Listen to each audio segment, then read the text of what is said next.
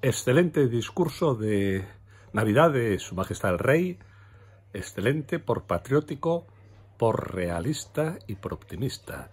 Tres condiciones muy interesantes, muy importantes, que ha unido en su, eh, su discurso a los, todos los españoles.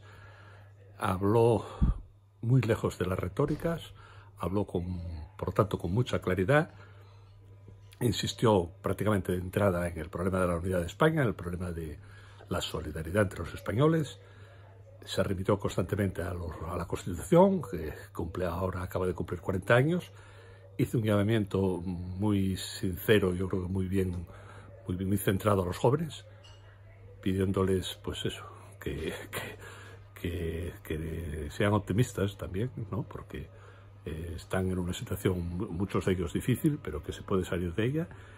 Y en general hizo eso, un discurso optimista, invitándonos a todos a trabajar, a colaborar, a, seguir por, por, la, la, senda patriótica, la senda de la libertad y de la democracia.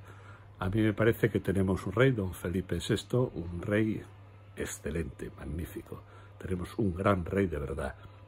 Y se está demostrando en los momentos difíciles desde hace un año, momentos tan difíciles en Cataluña, se está demostrando la enorme talla, no solo física, sino moral e intelectual de nuestro rey.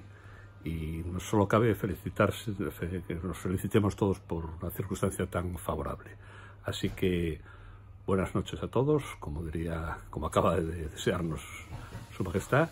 Buenas noches, feliz Navidad, viva el Rey y viva España.